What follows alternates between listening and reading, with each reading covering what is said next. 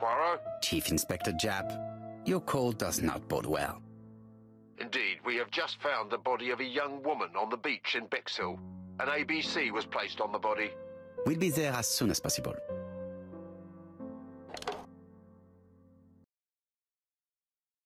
Bexhill.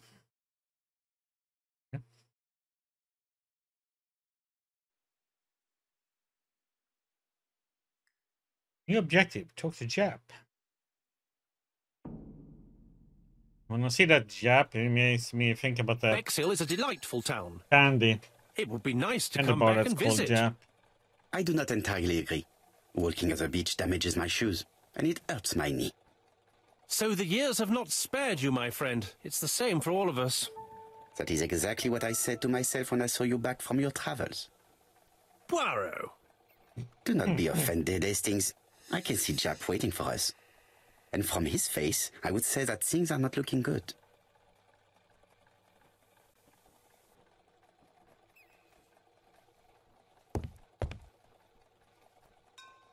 Bexhill seems to be a pleasant little town.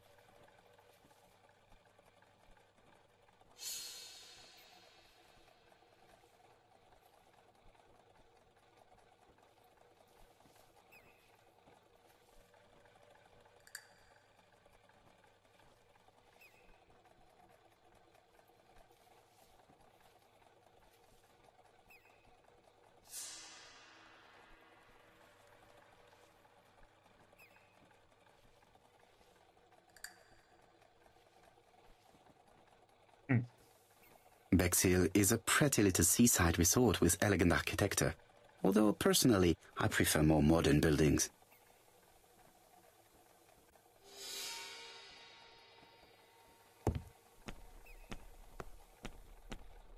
You Wonder Award Walrus Mustache.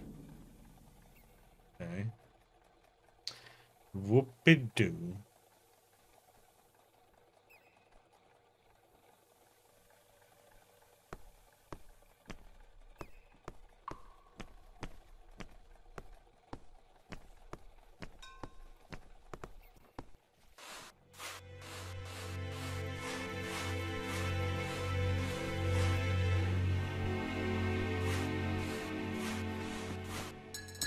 This hut is locked.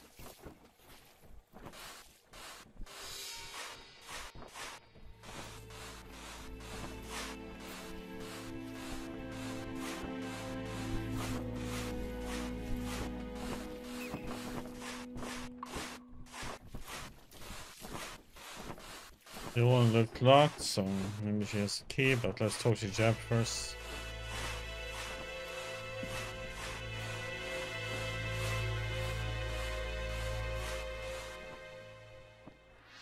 Do you do, gentlemen? Chief Inspector? I fear your admirer has struck again, Poirot. We haven't yet identified the victim, but it's a young woman, 20 to 25 years old. Death occurred last night between half past 11 and 1 o'clock. And we found an ABC guide on the body. Was she pretty? Come on, Poirot, that's rather out of place. It has no bearing on the murder. Are you certain? For women, it is often the most important thing. It often decides their destiny. The body hasn't been moved. You can see for yourself. Has the press been informed? Not yet, but I'm planning to. I haven't yet informed them about the presence of the ABC guide in Andover. Nobody has reported a young woman missing? Not for the moment. No witnesses, I imagine. Indeed. We've asked everybody who may have met a young woman fitting her description last night to come and see us, but I have little hope of gaining anything from it. It's early days, Chief Inspector, and the news may not have spread around the town yet. I hope you're right, Hastings.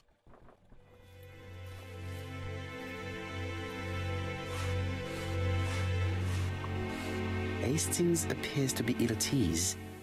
He appeared to be relatively indifferent to Mrs. Ascher's murder, but a young woman's murder seems to be troubling him greatly.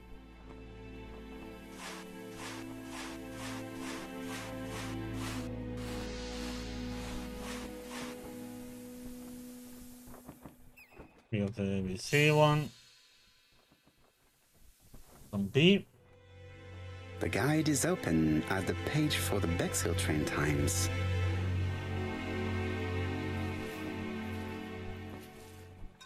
A braided silk belt. It may have belonged to the victim. This key is too small to be one for a house. Without a doubt, it is for a padlock.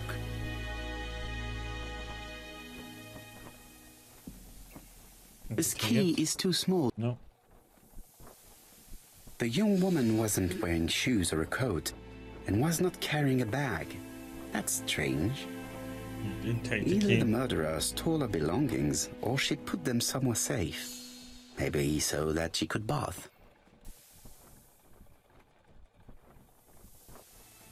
Apart from the marks on her neck, there are no signs of the struggle. She didn't manage to hit her assailant. These marks have been left by a rope or a braided cloth. She was a great beauty. Strange that chap didn't notice it. Let us now try and get our brain cells to work. Mm-hmm.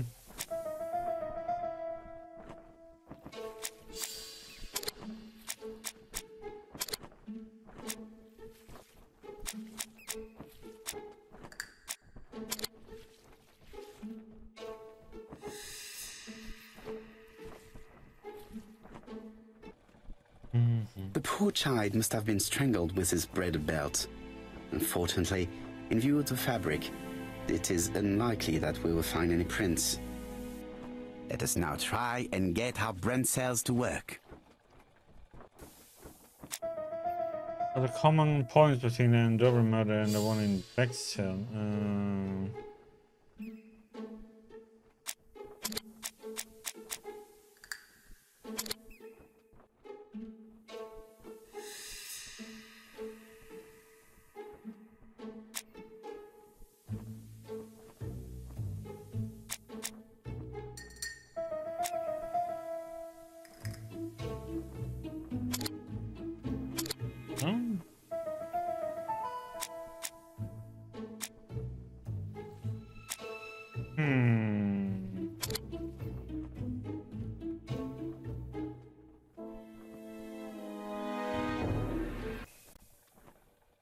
medical officer should confirm that the victim was strangled with her own belt. That's what I thought. She shows the usual signs of strangulation. With a little luck, we'll find prints this time. You are too optimistic, Hastings. Our killer is far too meticulous for that.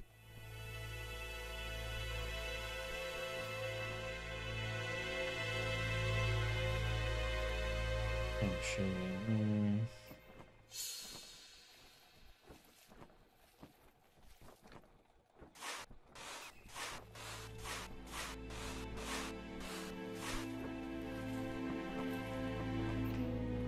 Say on it? Numero six. Oops.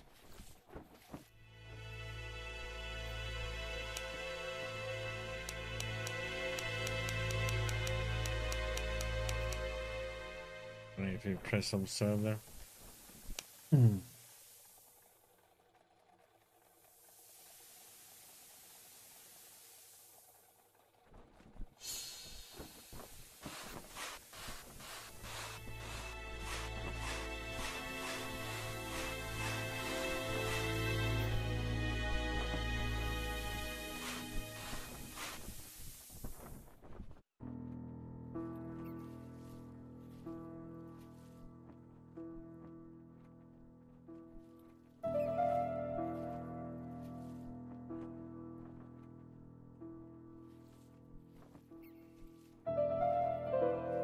No?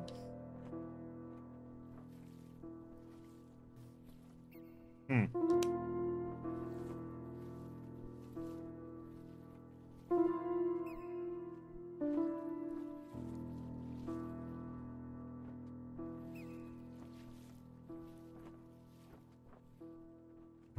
Seven one five.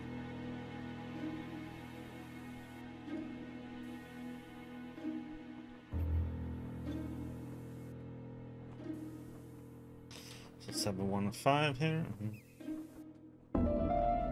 A dual locking padlock. I need to find the code and then insert a key. We got the key here, so. Hmm.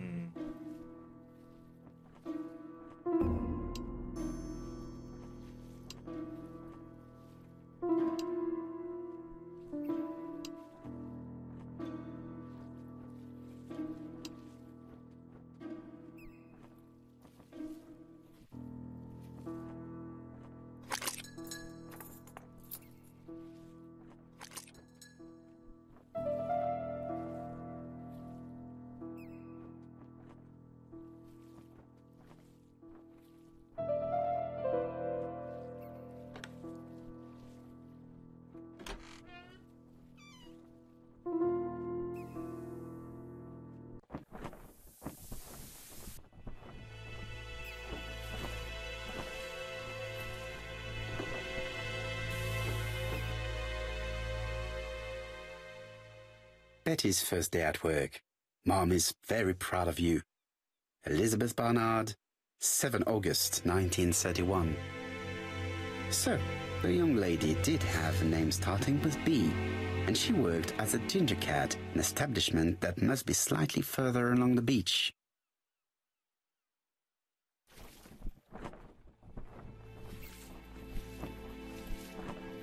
The purse is full. Yet again, we can dismiss theft as the motives for the murder. Here is the watch she must have removed to prevent it from getting wet. A top brand lipstick. She liked to take care of her appearance. As well as a photo of the victim with some company. It could be useful to me.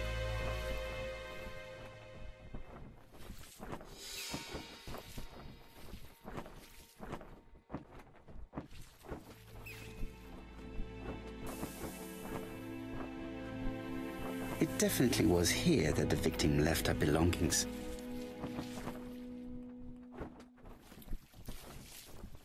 Japp has gone to the police. The victim has been identified and her family had reported her disappearance. She was called Elizabeth Barnard, namely Betty. She worked as a ginger cat at the cafe slightly further along the beach. But Poirot, how on earth? Never mind. Do you ever have address? Yes, she lived with her parents on the street leading to the beach, number 22. Shall we go? You are far too impatient, Hastings. Let the poor people take in the news first. Let us go and visit the cafe where Betty worked.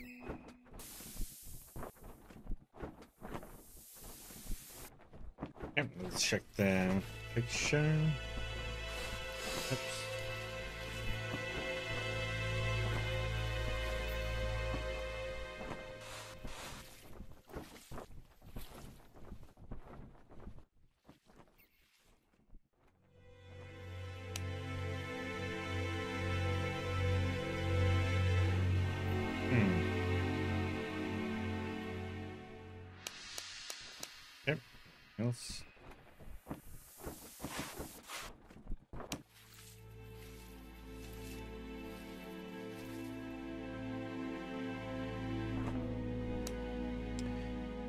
Do, do.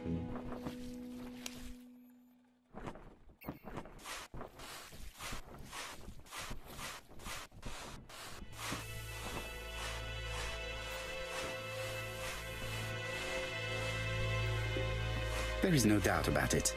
Bexhill has one of the most beautiful beaches in the area.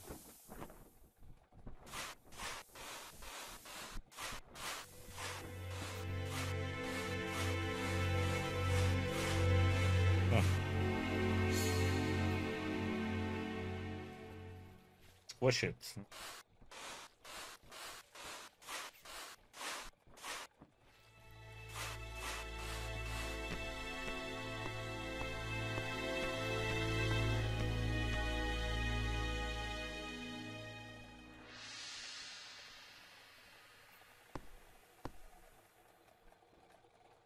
Could it be the same buildings as on the victim's photo?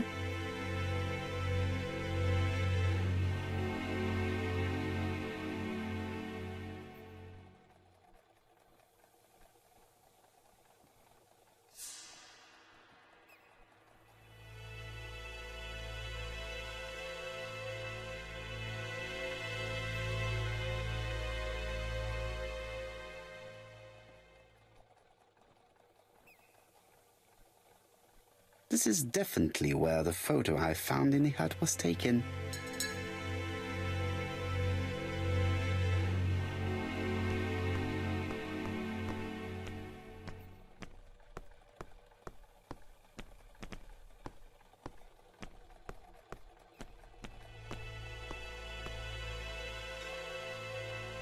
I fear that this case is far from being solved. Come on, Poirot. You'll find the killer. Certes. But how many times will he kill before I do? Many times.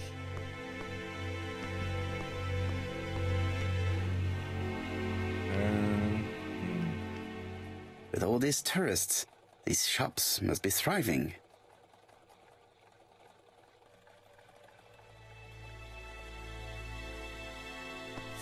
Let's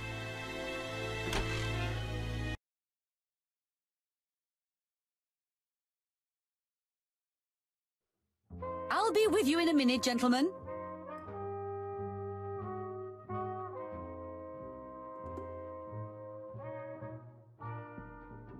A minute, huh?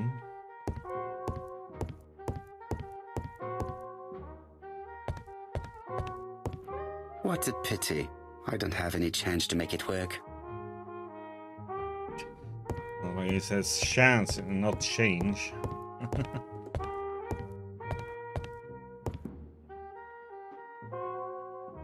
a well-laid table, nothing's out of place, and above all, This is a well-laid table. no creases. Nothing. So weird that he didn't say that to with.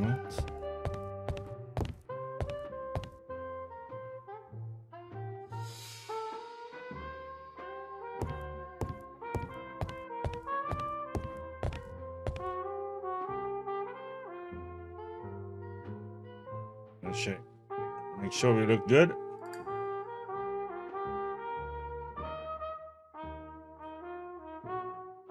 Some ego po- ego pumps.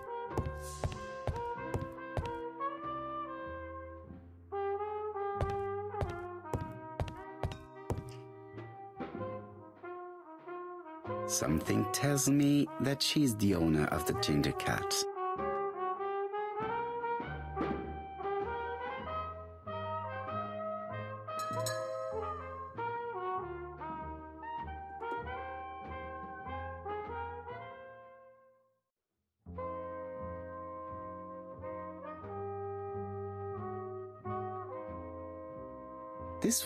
Must be the owner of the ginger cat.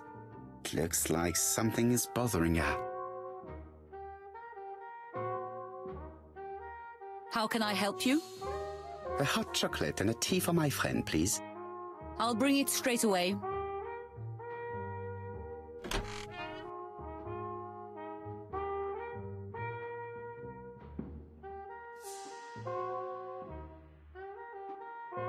Thought we were gonna have a conversation there, but no.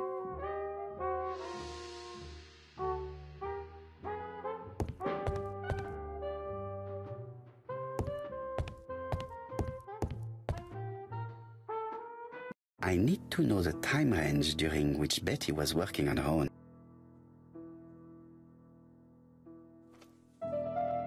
These are the different waiting staff's bills. Which ones were written by Betty? This page won't help me.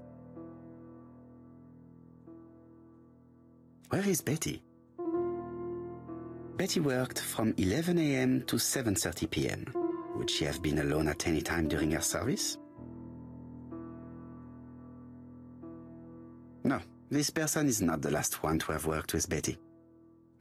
Mm, Interesting. Betty was alone between 5 p.m. and 7.30 p.m. Who did she serve?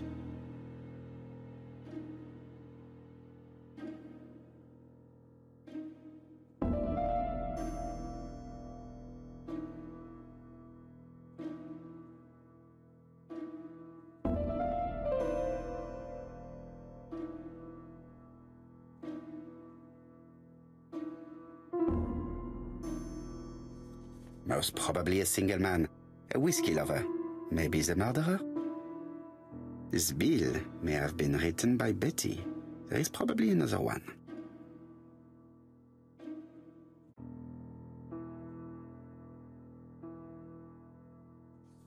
Most probably a family. Betty served a family and a man on his own, a whiskey drinker, maybe the murderer. This information will help me to progress.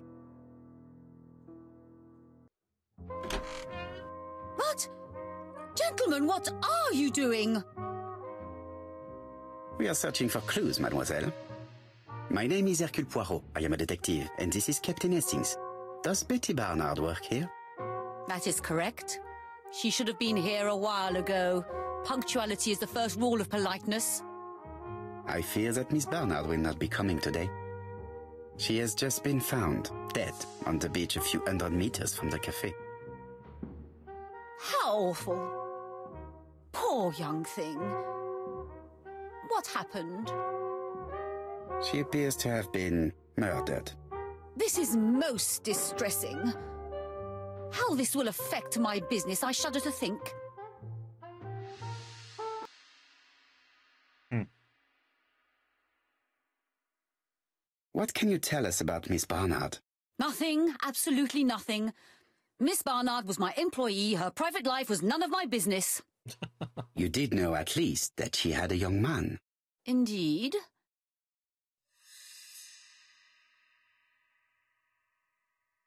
This photo was found.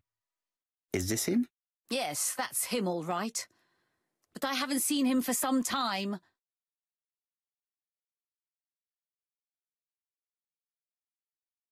Do you think there may have been some problems between them? I'm not on those sort of terms with my staff. Now, please excuse me, I have work to do.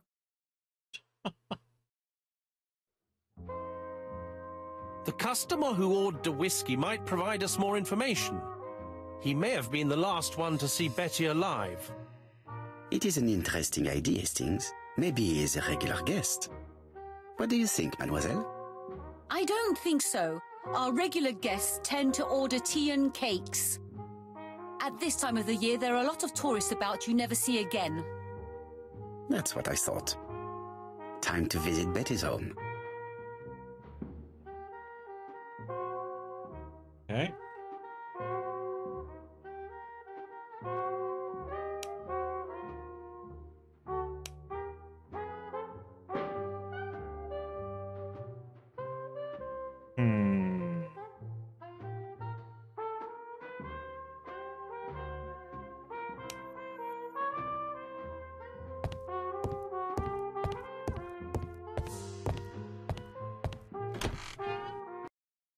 Let's uh, go.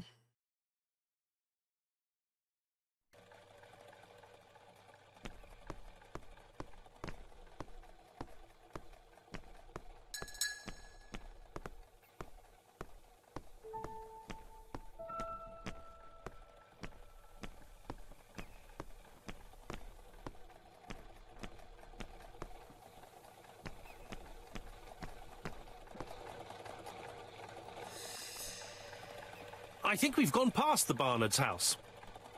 Luckily for me, you have an exceptional sense of direction, Hastings. You are a great explorer. Oh, it's right here. I thought we had to get the drive to get there.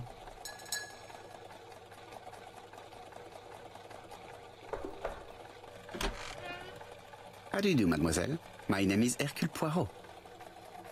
I know you. You're that detective we hear all about. I do not know if that is a compliment, but I will take it as one for now. You are Betty's sister, I believe.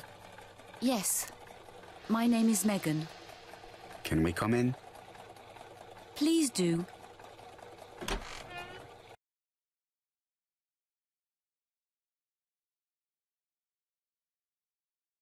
My parents are at the police station. I doubt they'll be up to speaking to you later.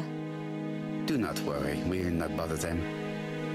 Did you know your sister's plans for yesterday evening? No. I arrived by train this morning. My parents called me in a panic when they discovered that Betty had disappeared. She went out last night, but she didn't tell them where she was going. What was your last conversation about? Her new dress. She wanted a pair of black stockings to go with it.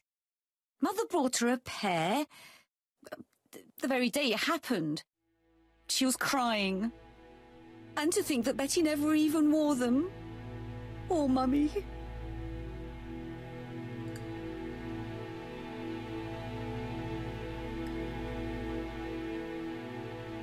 Yeah, the black stockings were important that she didn't wear. Mm-hmm. We can go up there. Or got in here first. This gramophone is magnificent. It is a one-off, without a doubt.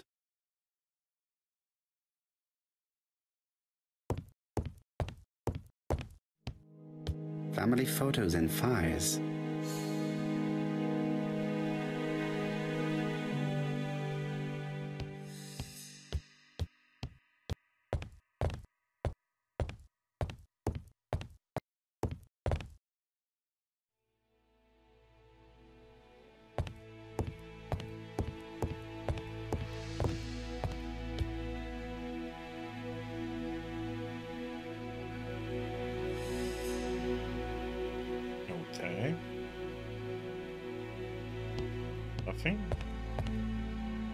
Was just that we looked in the mirror again.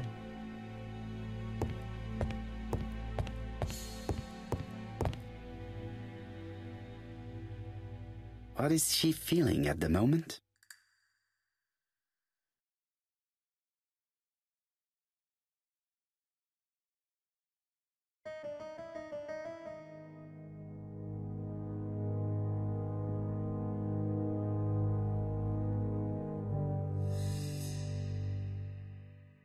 Betty's older sister is not just sad, she is angry.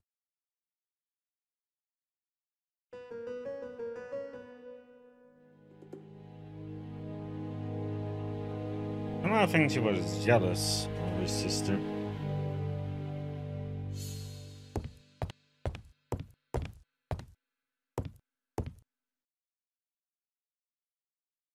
The Barnard appear to make music a priority in their budget.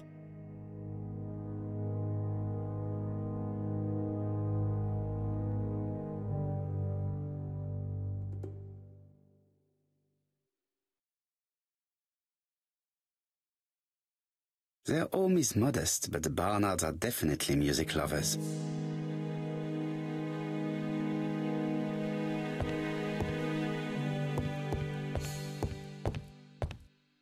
It would not be polite to visit the house without being invited to do so. Hmm.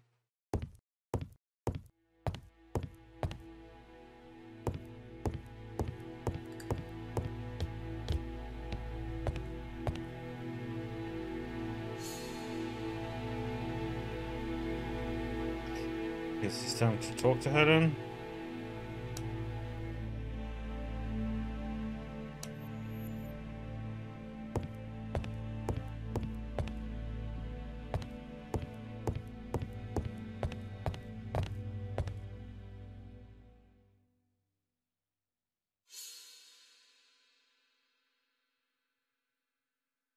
Your sister had a fiance, I believe?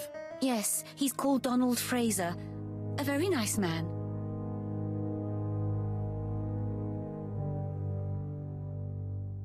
Do you know where we might find him? He works at the estate agent's Court and Brunskill.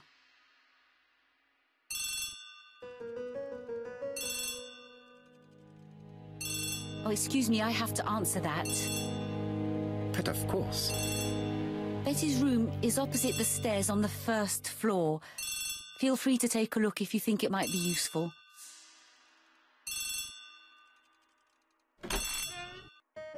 This young woman is far too clever not to have anything else for us. Do you think she's hiding something? That is what I'm trying to find out. Surely you don't think she did it? I did not say anything of the sort. But young women always ruin your judgment, Hastings. Who knows? Maybe Megan was jealous of her attractive young sister. I see. She may have had her sights on the inheritance. Or maybe she was in love with Donald Fraser. We have to study all scenarios, even the most unlikely. But I doubt that Mr. and Mrs. Barnard are rich enough to justify murder. While I try and get Miss Barnard to talk, I would like you to try and find Donald Fraser. It should be easy to find the estate agents where he works. Bring him to the Ginger Cat. I would like to talk with him before the Chief Inspector finds him.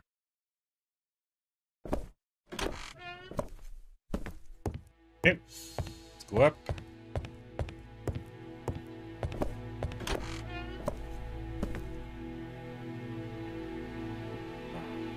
More ego points, come on.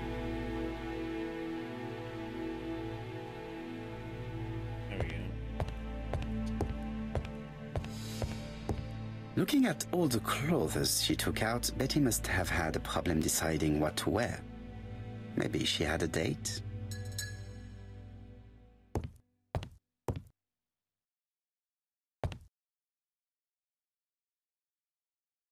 It looks like Betty was also a music lover, the same as her family.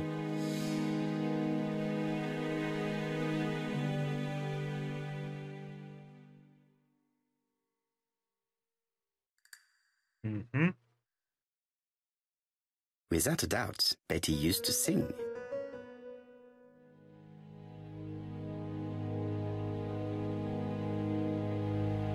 Hmm. A box of new stockings.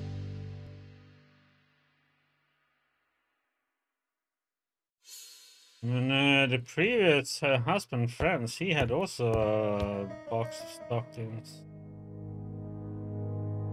It looks like Betty has a very busy life.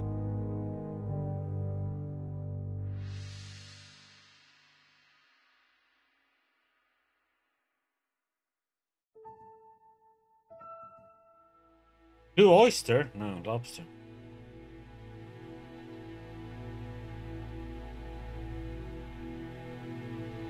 Betty liked luxury and going out.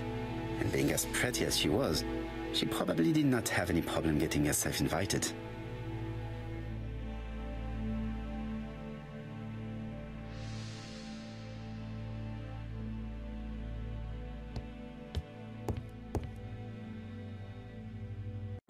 Something on this clock bothers me.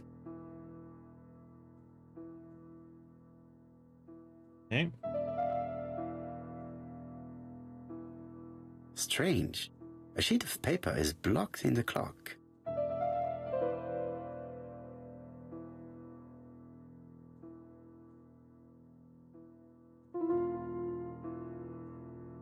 What a strange mechanism. I don't think it serves to turn the hands.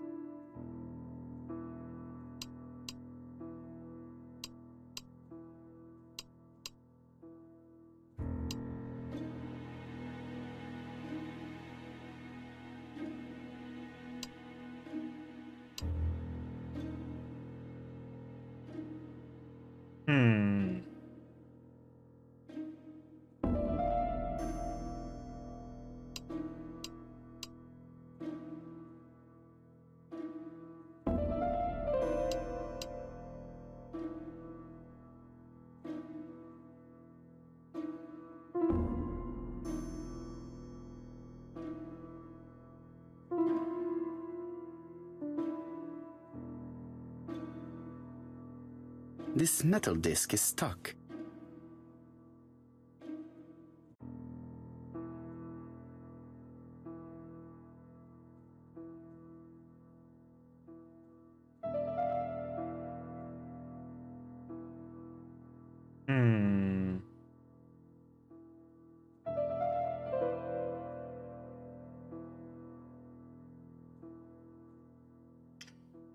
Find something about the time. Strange. A sheet of paper.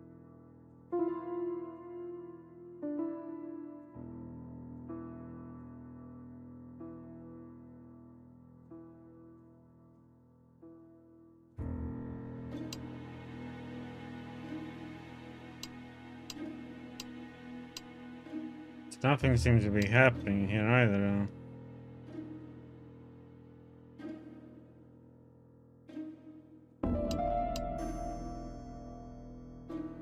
We do.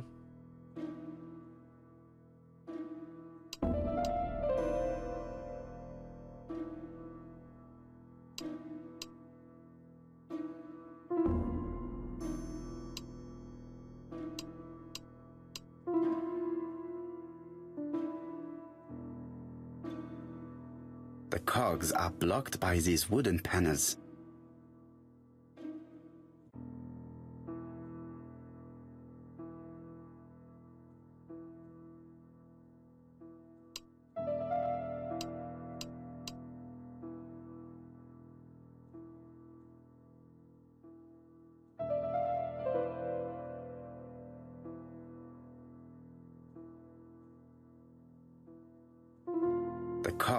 Blocked by these wooden panels.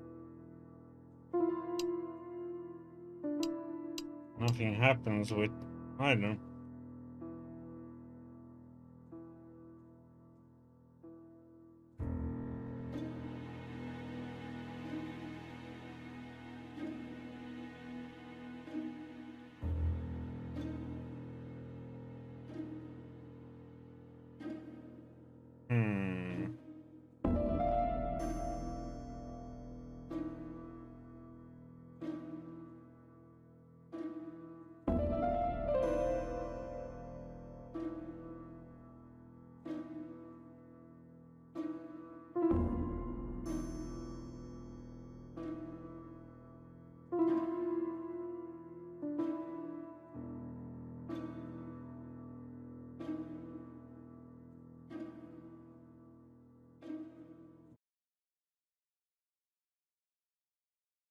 Hmm. This metal disc is stuck. The thing is, okay, so it has something to do with. Uh... Sure.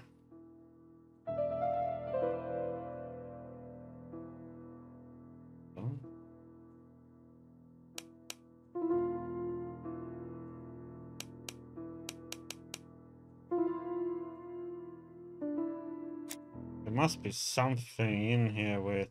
Hmm. A record sleeve with an written title. Betty must have recorded the demo. I'd be interested to hear it.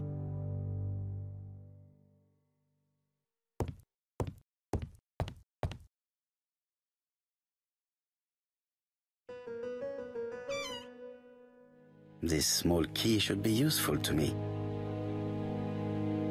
I've finished with this subject. Medicine to prevent voice loss. Did Betty have problems with her voice?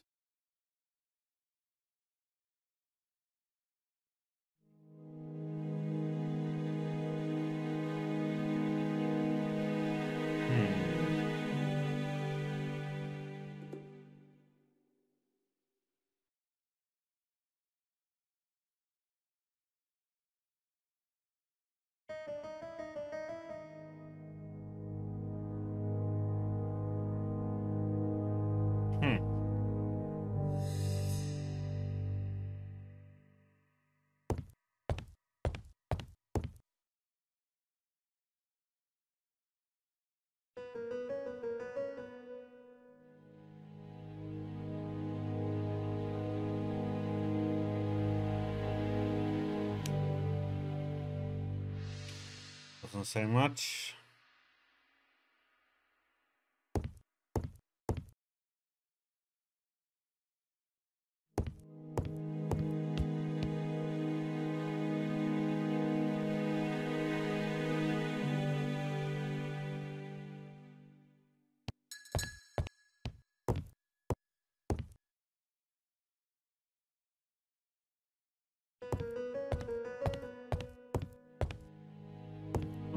In here, so you're missing something here. Something on this clock bothers me.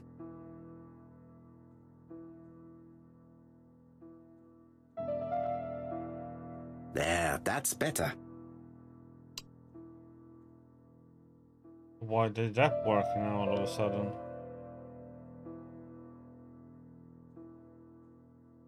This decoration appears to be firmly fastened. This decoration appears to be firmly fastened.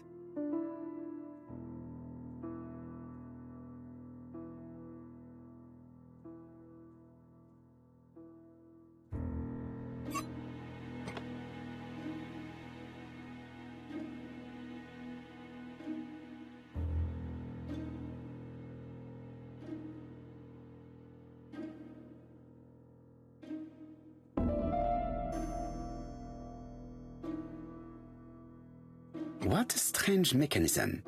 I don't think it serves to turn the hands.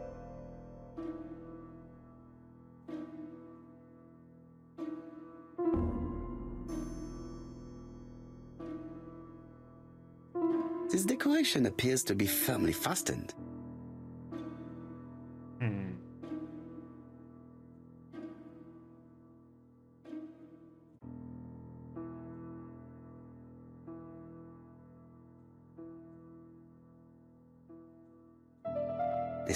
Panel is blocked. I can't open it.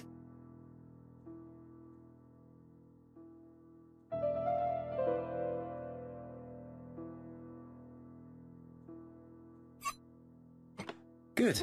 It should be possible to open the wooden panel. Look, a key. This could be useful.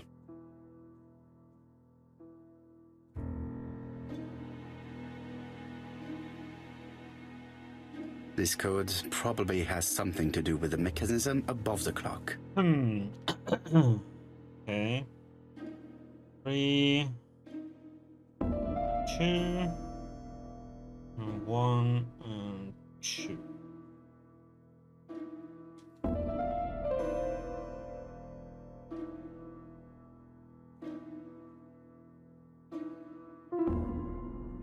This wooden panel is blocked. I can't open it.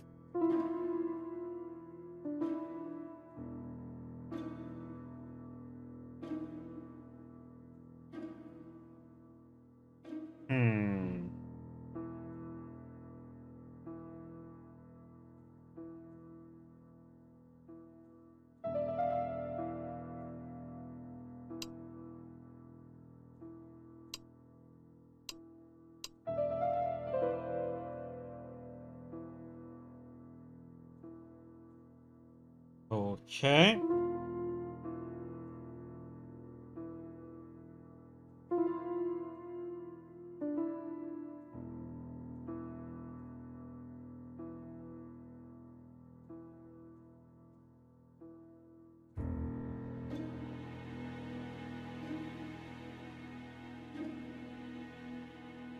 Let's see, so this one should be in position. Which one is one though? That one? That one. One should be in position number two. One should be in uh, three.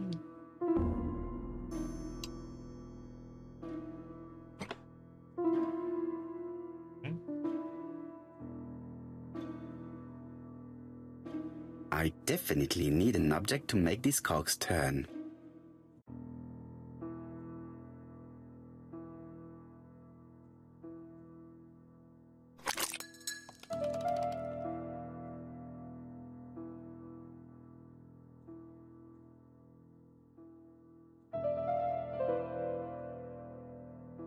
No, the key does not fit this cog.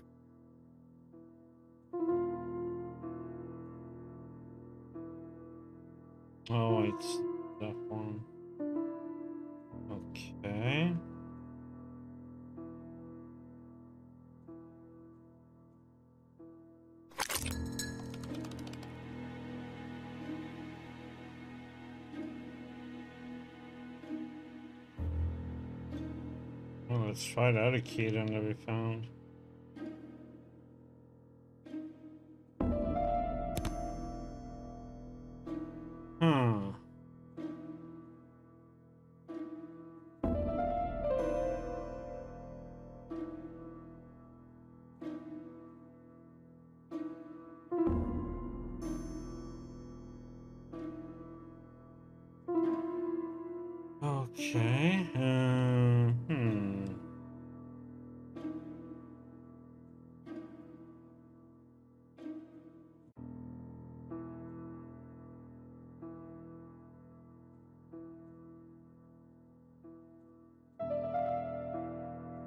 Heck do we move these then? I definitely need an object to make these cogs turn. Tried this, but it says it's No, not. the key does not fit this cog.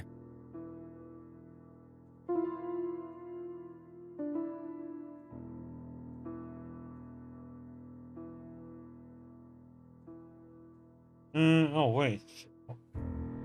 It's, uh, let's see now. I definitely need.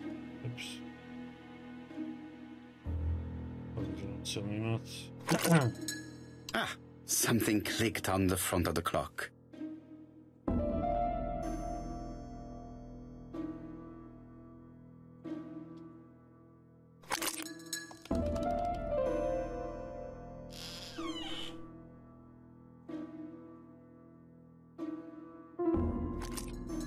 Could be useful.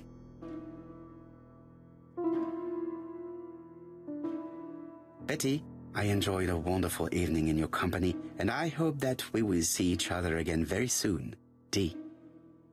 My dearest Betty, I know that your art is already spoken for, but you are the most beautiful dancer I have ever had the pleasure of meeting, and I am impatient to see you again. Adrian.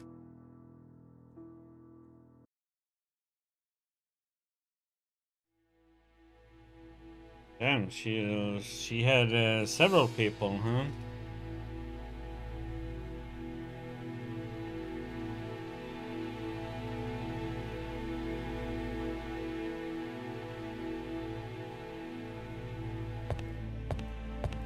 Okay, did we get everything here, or?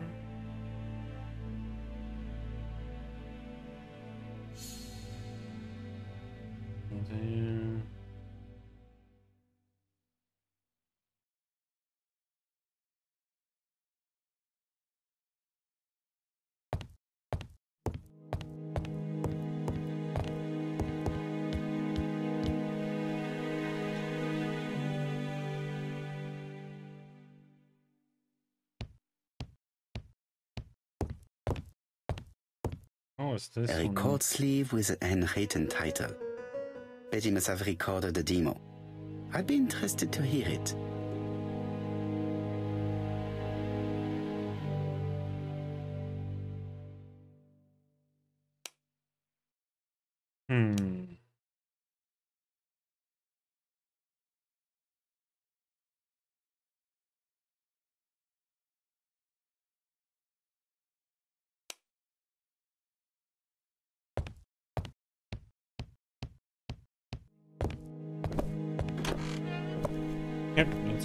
Listen to.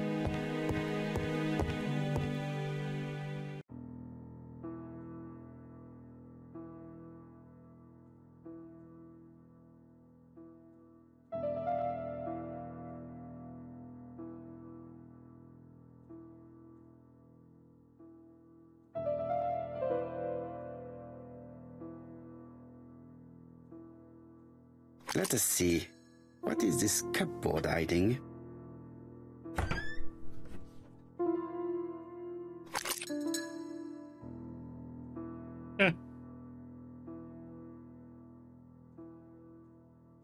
Looks like solfège.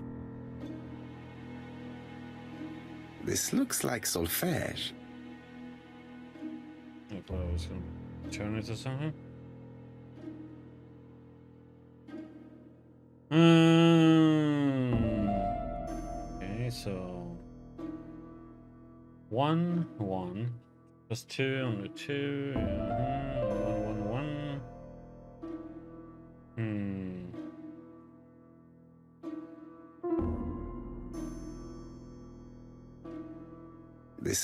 Like solfège.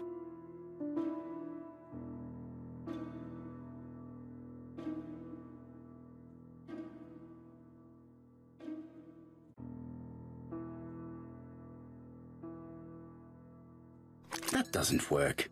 I must have forgotten a step.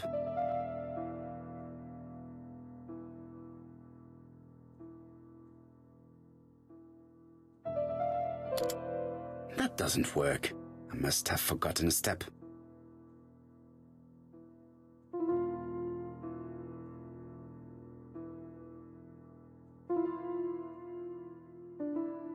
I cannot open it.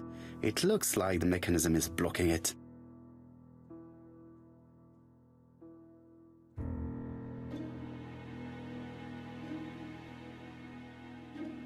But, um, can I... That doesn't work. I must.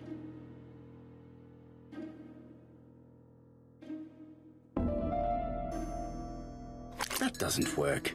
I must have forgotten a How step. the heck do I get this one up then?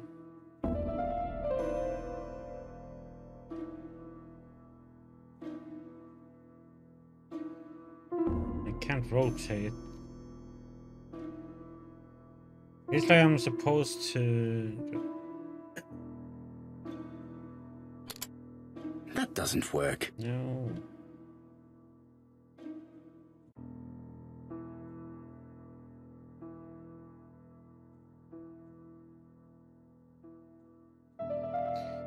Somehow we need to be able to get this one up.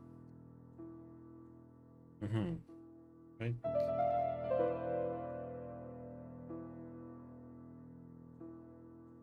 I cannot open it. It looks like.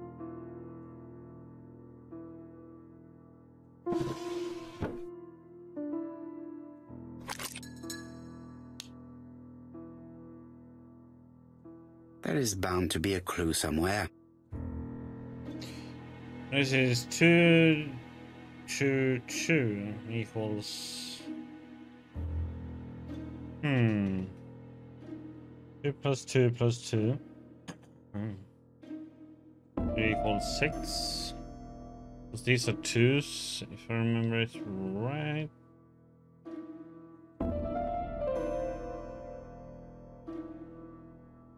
Mm-hmm.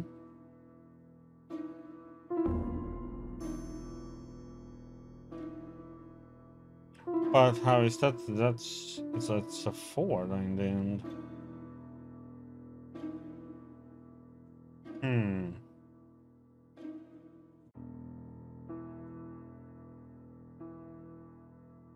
Because they all were in the same direction, right? There is bound to be a clue somewhere.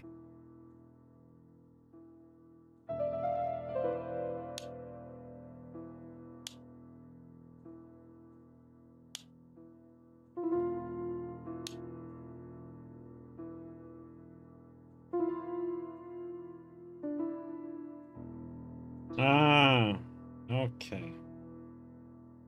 Uh, we had to make this into a. I get it. we had to make go into a once. The one is upside down one instead.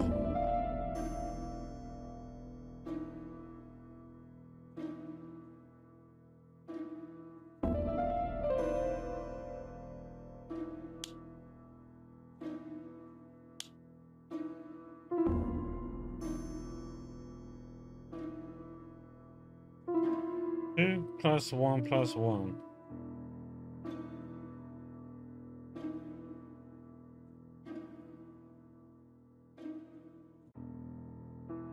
No?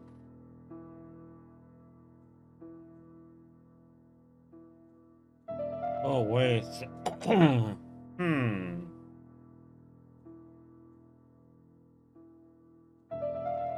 One of those is a one, though.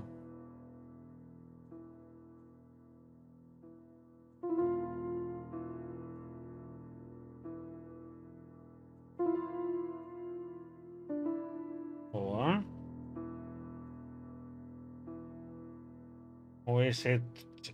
Hmm. This doesn't quite make any... Oh, wait, wait. Okay, maybe it's that way. Okay. Um...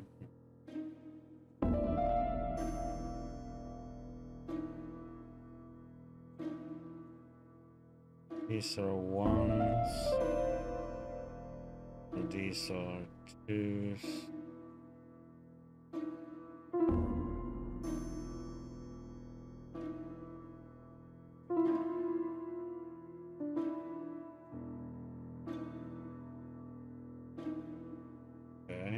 Um. Hmm. This? There There is bound to be a clue somewhere.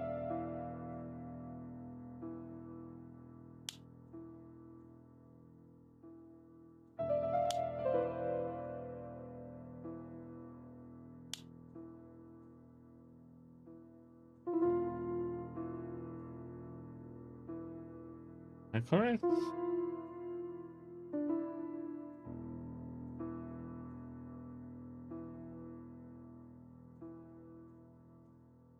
That was not uh, correct.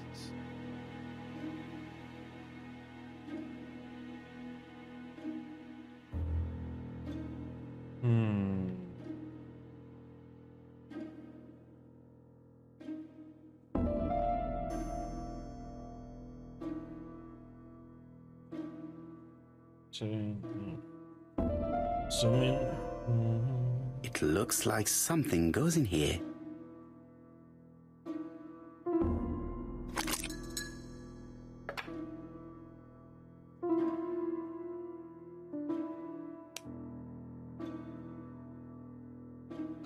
Seven eighty. What the heck does that mean?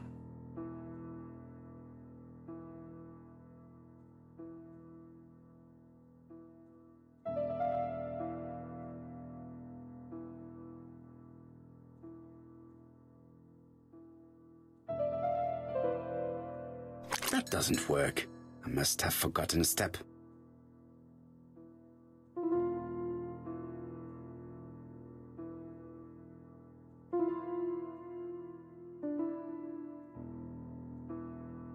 Yeah, we need to be.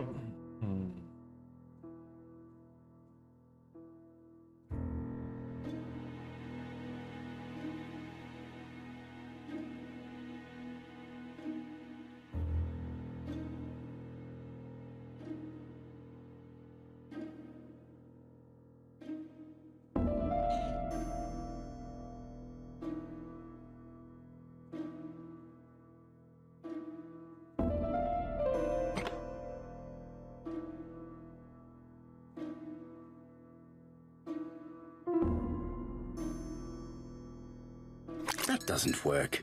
I must have forgotten a step. Yeah, I would like to lift this one up, but what the f- That doesn't work. I must have forgotten a step. I'm just wondering. Uh,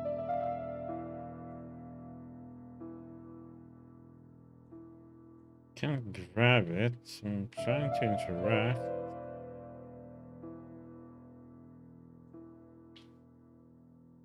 I can't do anything with it.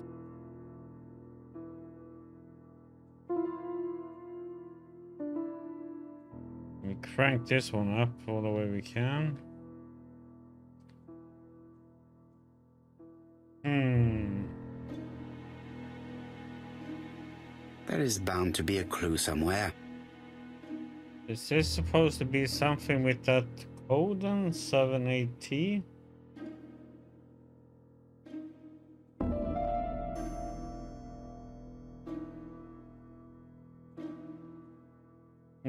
You crank it up, then when you're supposed to lift this one up, then put the record in.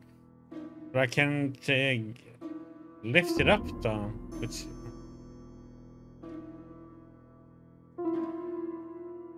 you know, this needs to be lifted, but I can't um, do anything with it.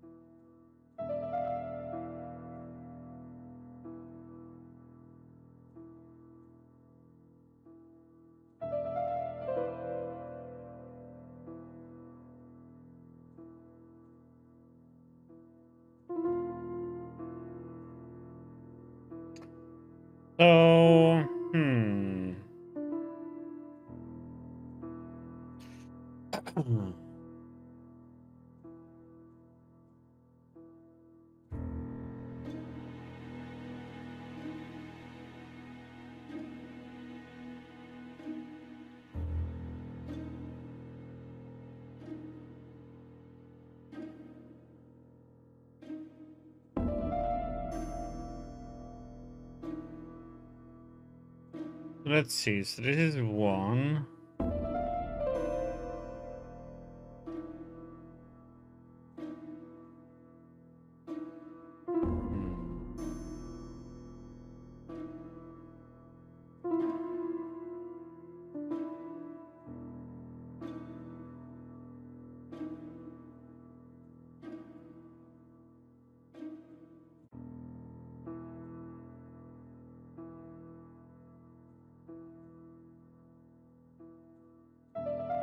This looks like solfège. There is probably a link with what I saw in the drawer.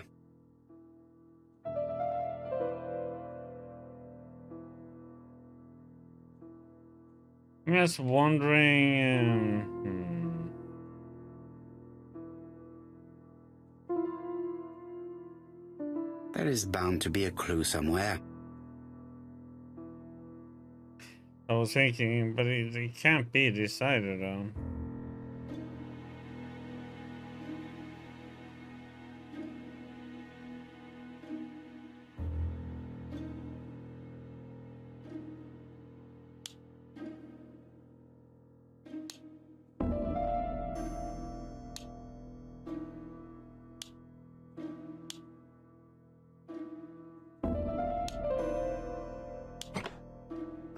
The sound of a mechanism being triggered.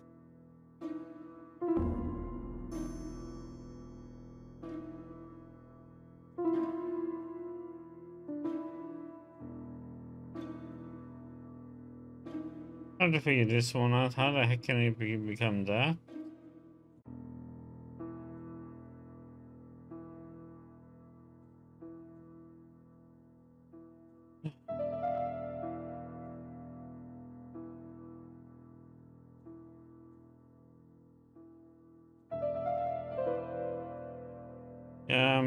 I'm curious how it becomes that though.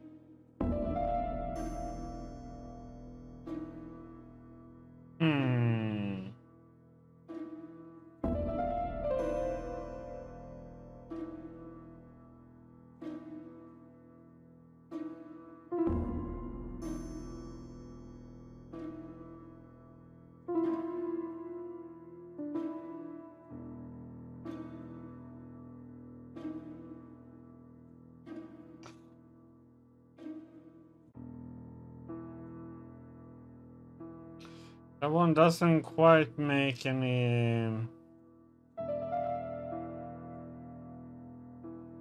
I wonder if it is, it's two of these one and that turns into... Hmm.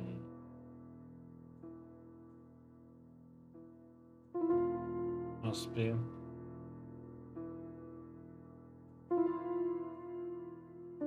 This open up. Uh-huh, this is what, the...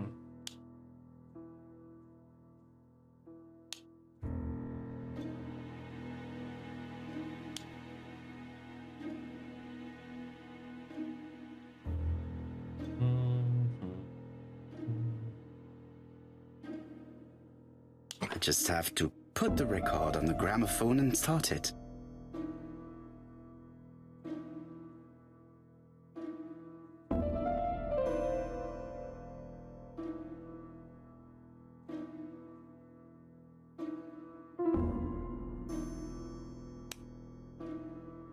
That's why I couldn't.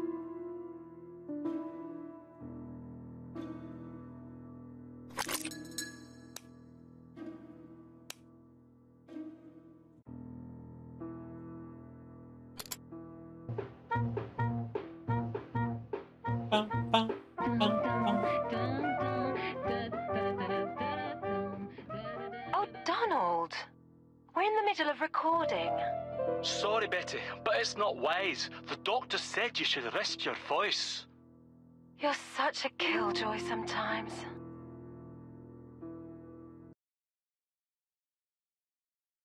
Betty was such a good singer. It's true. Did she have any problem with her throat? Yes, she had to be careful with her voice. Of course, she didn't follow the doctor's advice. If Don didn't insist, she... Well, it's too late for all that now. Yeah, I understood it in the end. I just took me a while to. I was look, looking at you know addition, but it's actually from the tree how it goes down.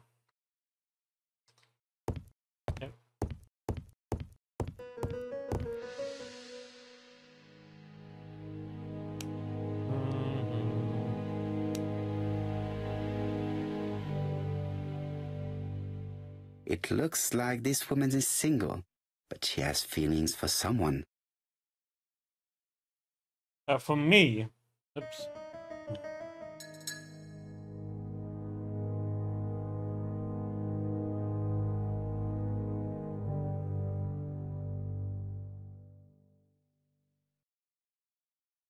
Is She's looking so intensely at this photo. But is it really a sister that she's studying in this manner? because how the tree is, you know, you have that uh, mark um, that is supposed to equal. And the previous ones, if you look at um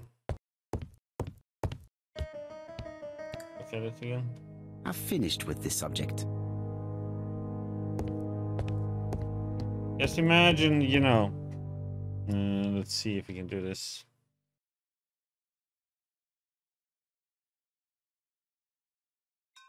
That's uh, whatever that sign was uh, turned into.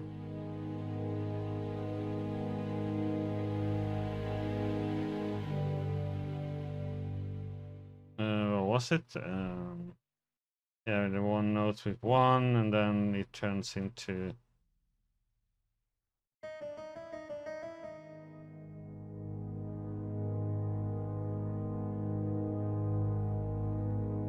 Imagine the tree goes something like that, you know? It starts up there, and then it turns into one of the other ones, then it turns into two of the other ones. It goes down in the tree, you know. So you have to think where that sign was. Then it turns down to one of those, then it turns splits up to two of the other ones. So it's like you have to follow the tree. Yeah, I know. Oops. Got that I didn't have the camera. But it's like They made the perfect I went with the correct? addition, you know, one yes, one in one. a way. She was first, pretty so and but- he... Well, He's a bright man, with a promising career ahead of him. He would have made Betty a good husband. He was always Then I attentive was thinking, and okay, generous. one Oh, with true you know one little blub, and then with I two hear a blubs and three envy in blubs equals four. But no. You must have heard wrong.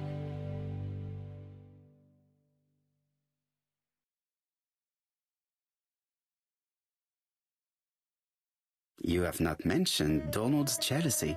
There's nothing to say.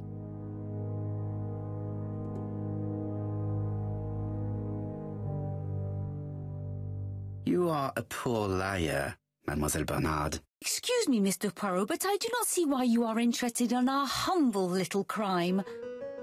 It would appear that your sister's murder is the second in a series that we have to stop as quickly as possible. The first was in Andover, and the same as your sister, the murderer sent me a letter informing me that a crime would be committed in that town. Now can I count on your honesty? Yes, you have my confidence, Mr. Poirot. Don is a quiet and sensitive young man. Slightly reserved, too. And as is often the case with reserved people, when he flew into a temper, he completely lost control. He could be so violent. Betty was frightened. And when was this? The first time was about a year ago. But they rowed more recently. Donald found out that Betty had lied to him.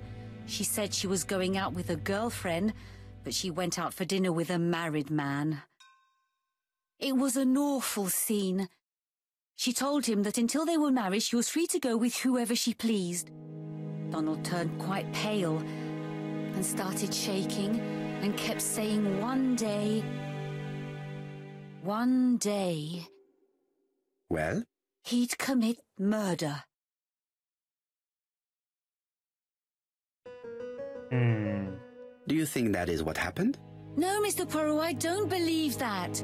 You yourself said he may be a recidivist madman. Don loved Betty with all his heart. I can't imagine for one instant that he would hurt her. Very good, Mademoiselle Barnard.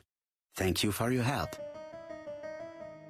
Yeah, it was a little bit of a weird puzzle, but Fraser is at the Ginger Cat. The police haven't spoken to him, but they want to. Très bien, Hastings. Let's see him now. Au revoir, mademoiselle.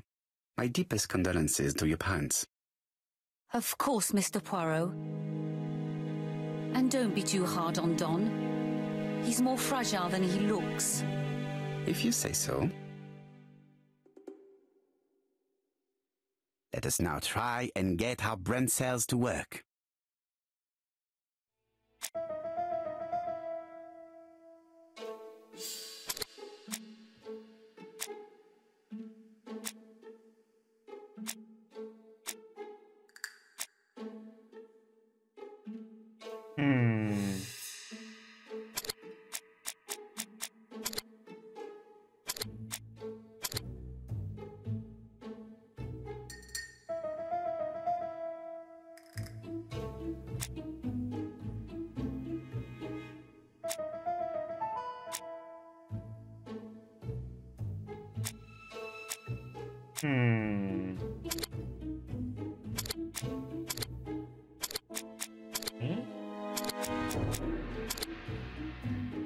This one?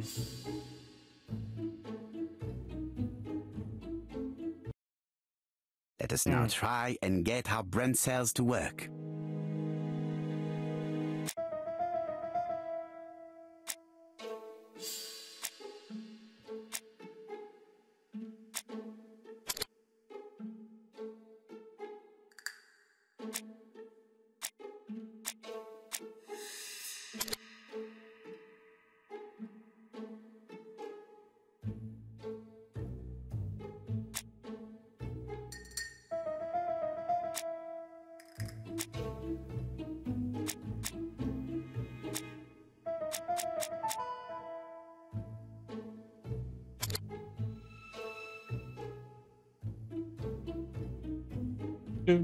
do, do, do, do, do, do, do, do.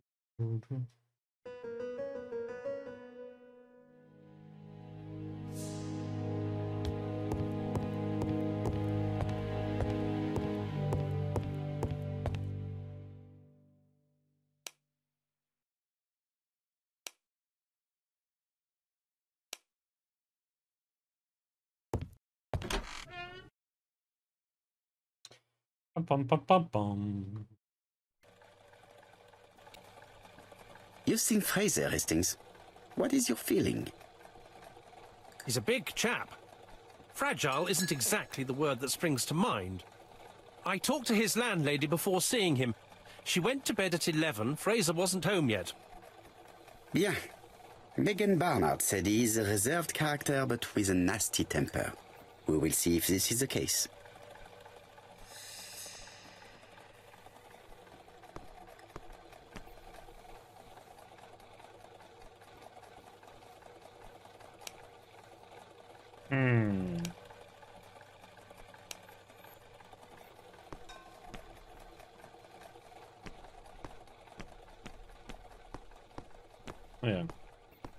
combien de café Come on, firewall. Step on it.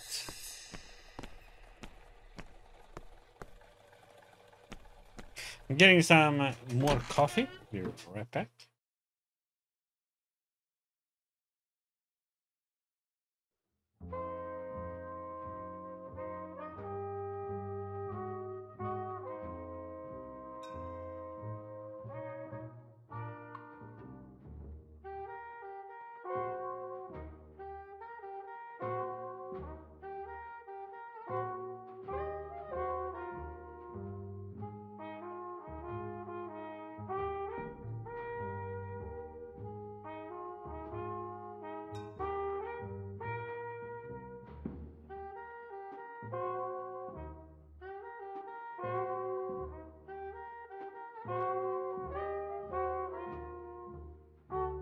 End up below 100k if you keep that up.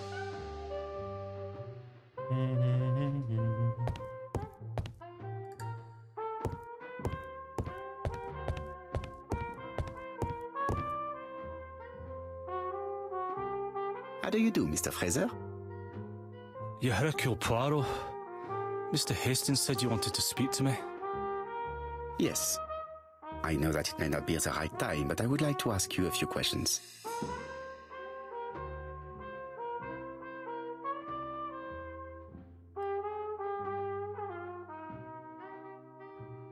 This man looks suspicious.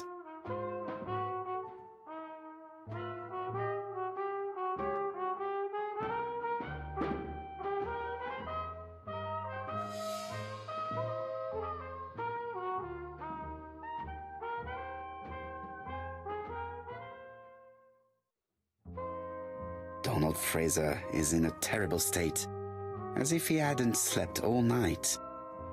And he's drinking White Horse. Leave me alone. How about I don't? Tell me that it's a mistake. That Betty isn't dead. Sadly, your lady friend has been murdered, Mr. Fraser. Oh, Betty, if only you'd listened.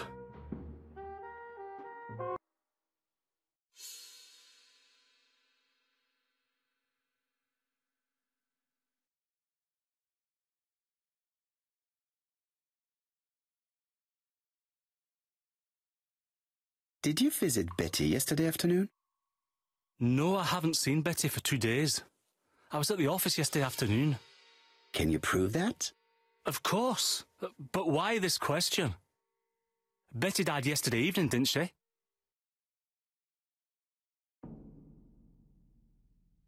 Yesterday, a guest came to the Ginger Cat alone and ordered a white horsed whiskey, and by the look of it, you also appear to be fond of this brand.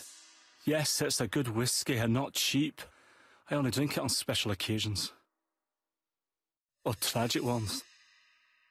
I understand. Do you know what Betty's plans were yesterday evening? She said she was having dinner with her sister.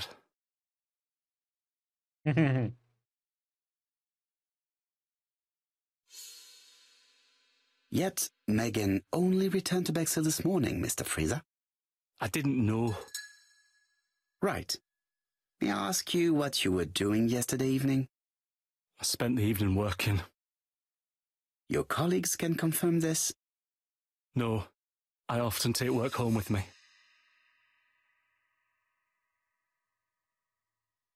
hmm. Therefore, you have no alibi, Mr. Fraser. That's right. But that doesn't make me a murderer, Mr. Poirot. I would like you to leave now, please.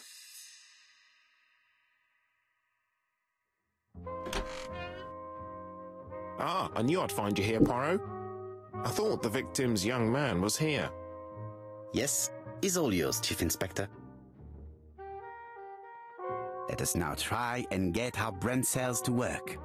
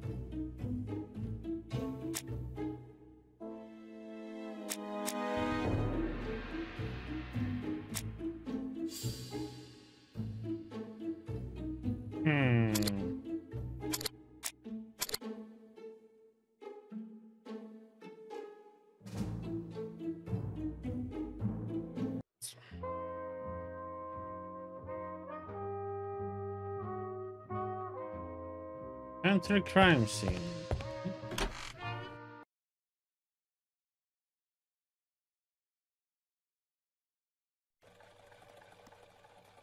Fraser doesn't have an alibi and he's extremely jealous. You are very skilled at summing up. And yet you haven't asked Japp to arrest him. It is too soon. But I agree, without the letters announcing the crimes, Fraser would already be behind bars. Bon, I think we have enough elements. Let's reconstruct the events at the scene of the crime.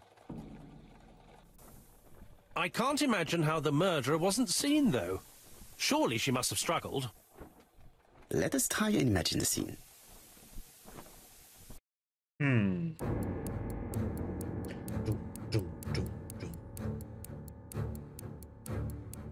The killer and the victim are walking on the beach. Miss Betty has a bag, a belt around her waist, and carries her shoes in her hand. Both of them walk slowly to hut number five.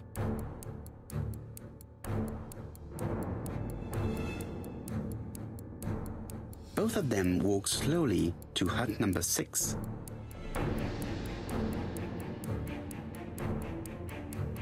Miss Betty enters the hut. She leaves without her belongings. Then she hides a code.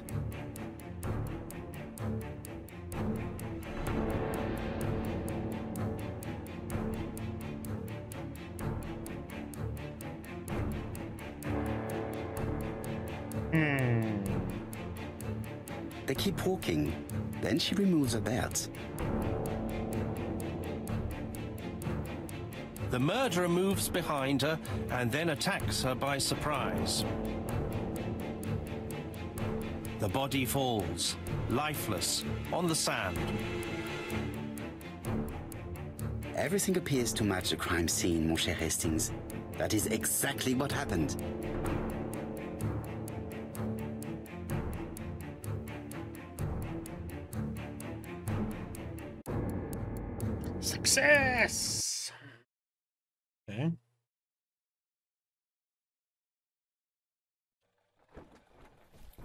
Without the ABC, we might have suspected Mr. Ascher and Mr. Fraser. But by signing his crimes, the murderer is making sure he's accused. In a way, it is very generous of him. Generous? The murderer seduced Betty in order to lure her to the beach and kill her. Indeed, the young woman was certainly careless, but not stupid enough to follow a stranger. What are you planning to do, Poirot? Return to London, mon cher Hastings.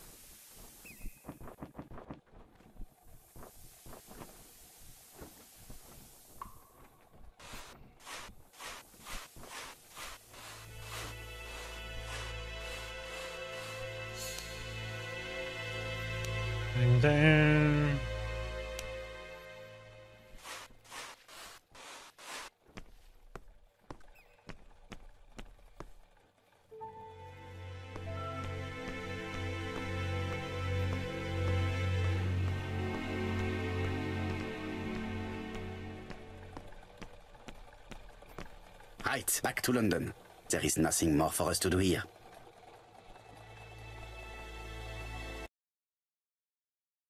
London? Japp has decided to reveal details to the press. The alphabet murder is now famous. It is not a bad idea. The more people who know, the greater our chances of finding out something of interest. Poirot, I have a bad feeling.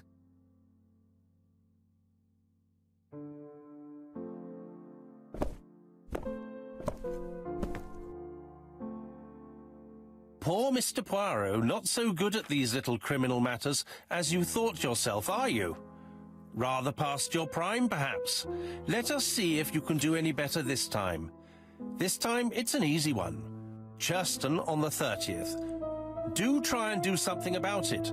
It's a bit dull having it all my own way, you know. Good hunting.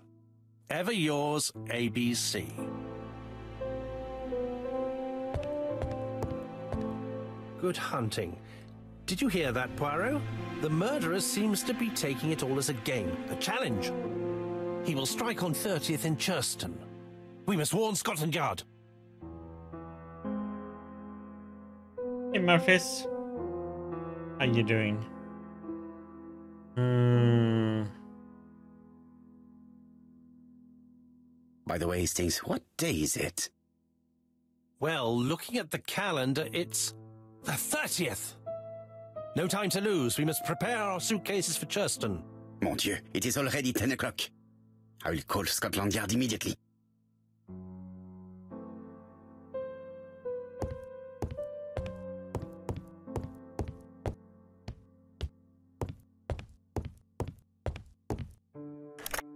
Hello, Japp.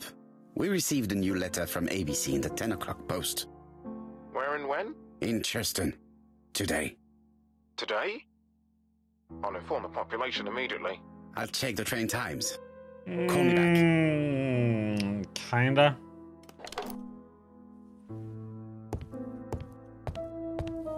Yeah, I guess you could say it is pretty much like a Sherlock Holmes. We have two.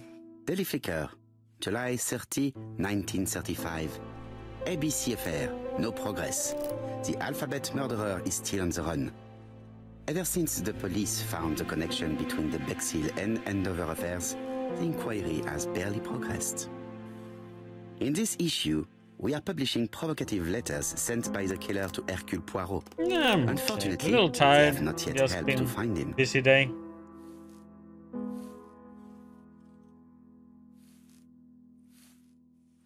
Daily Flicker, July the 26th, 1935. The Bexhill Horror. Young maid strangled on the beach. Killer struck at midnight.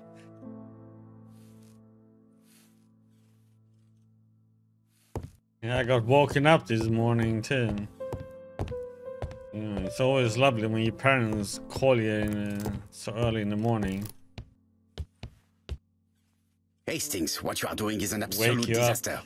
That is no way to pack It's like suitcases. weekend. Hello, let me Heavens, sleep. we must in. hurry. we have to get to Churston before the murder.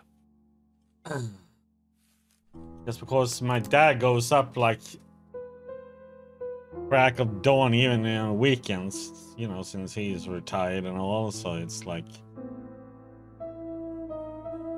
Nah, uh, well, luckily I don't live with my parents, but you know. He tends to call and like, hello, and then we talk about, you know, how the week been, but then it's like sports since we both like uh, football and uh, we follow Premier League very a lot.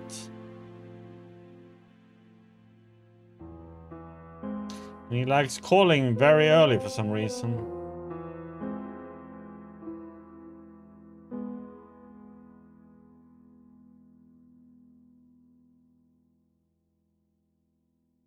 Your height, It is an emergency.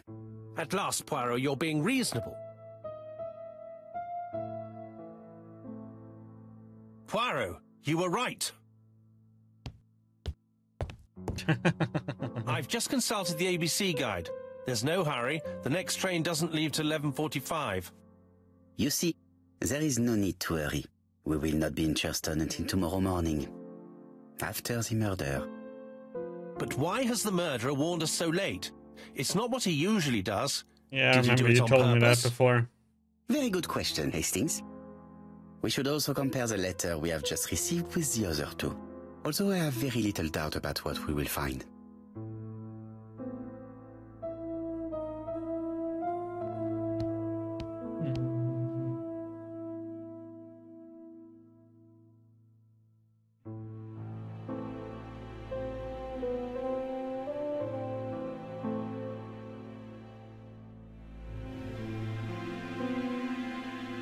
Missed the 6.45 train, but we have plenty of time to catch the night train.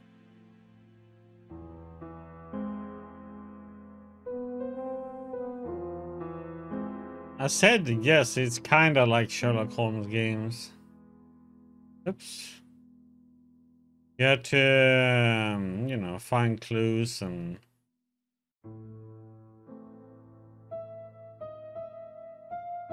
Do some puzzles. Hastings' photo album. He is very proud of his bag.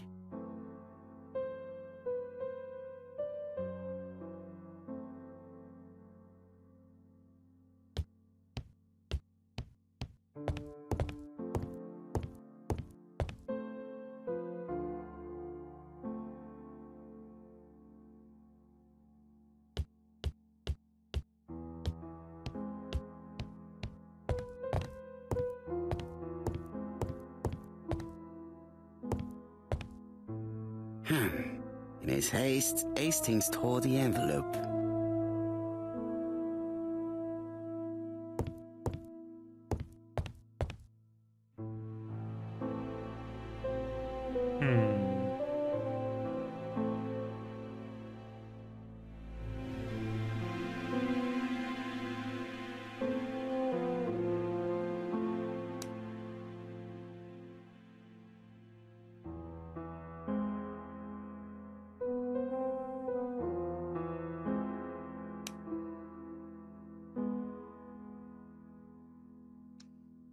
Hastings saw the envelope that held the killer's letter. However, he did not have to throw it on the ground.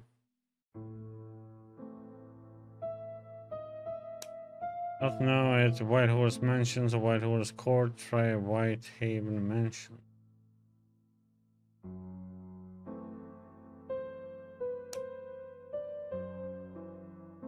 Poor Mr. Poirot. Not so good at these little criminal matters as you thought yourself, are you? Rather past your prime, perhaps? Let us see if you can do any better this time. This time it is an easy one. Churston on the 30th. Do try and do something about it. It is a bit dull having it all my own way, you know. Good hunting. Ever yours, ABC.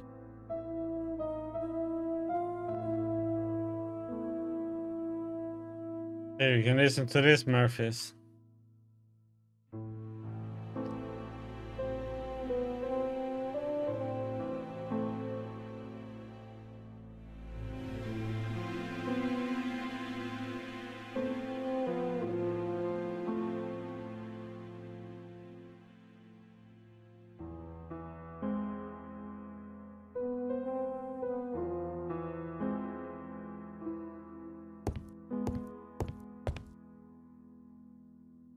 It is a pleasure to be working with you again. I have missed you this past few years.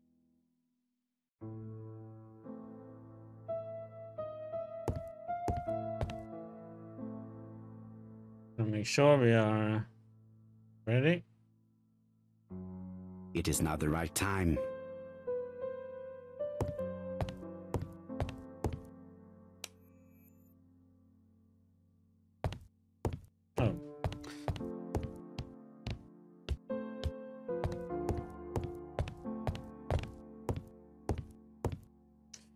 Gotta compare Right, him. Let us compare this new letter with the second one. Let us examine this more closely.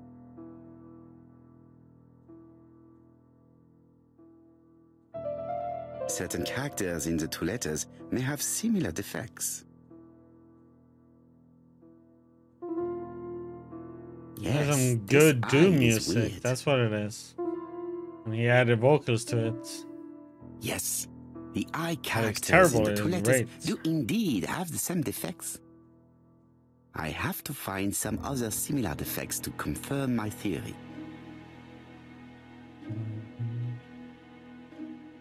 Hmm, the W is not printed properly. Of course, the W characters in the two letters do indeed have the same defects. I have to find some other similar defects to confirm my theory.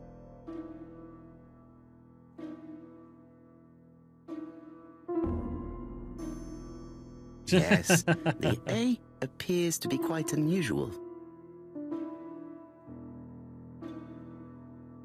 That's right. The A characters in the two letters do indeed have the same defects. My theory was right. These two letters were written with the same typewriter. Let us now try and get our brain cells to work. Okay. Mm. Can pump it up with another song then. You know, with that one instead.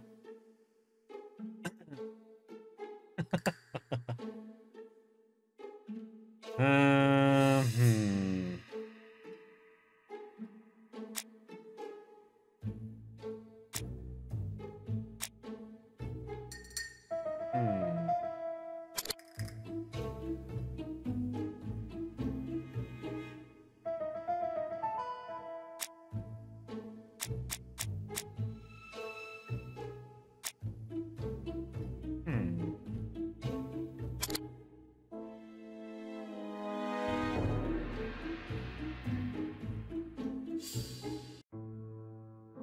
Letter should have arrived in time. The postmark shows that it was sent three days ago.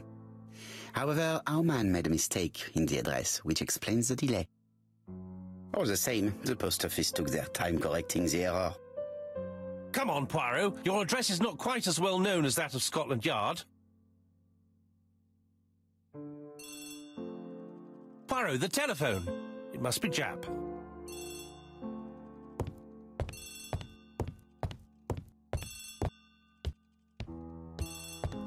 Are you afraid?